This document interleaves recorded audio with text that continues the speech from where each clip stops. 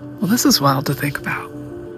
Every day, without you even realizing it, your thoughts are sending quiet instructions to your biology. Not rewriting your DNA, that blueprint is steady.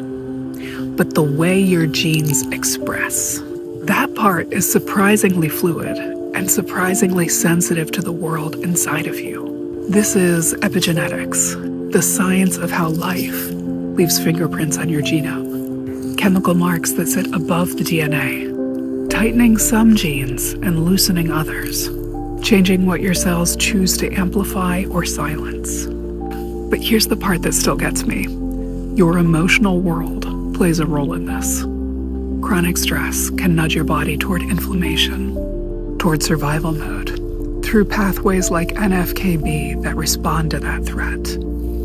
But states like calm, connection, and internal gratitude shift your state in a different direction, softening stress signals and supporting healthier immune expression and lowering biological alarm bells.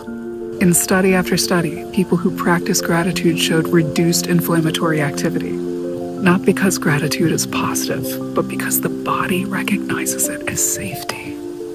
So when you pause to appreciate something, when you feel that warm, steady presence in your chest, you're not just having a moment.